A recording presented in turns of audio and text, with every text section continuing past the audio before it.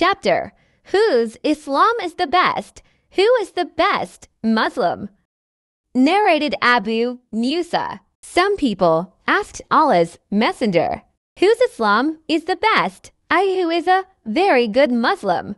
He replied, One who avoids harming the Muslims with his tongue and hands. Reference Sahih al Bukhari Book 2 Hadith 4. Chapter To feed others is a part of Islam. Narrated Abdullah bin Amr. A man asked the Prophet, What sort of deeds or what qualities of Islam are good? The Prophet replied, To feed the poor and greet those whom you know and those whom you do not know. Reference Sahih al Bukhari Book 2 Hadith 5. Chapter To like for one's Muslims brother what one likes.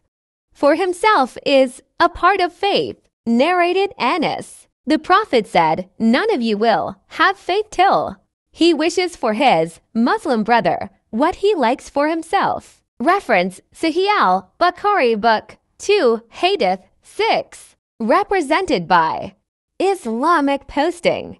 Thanks for watching.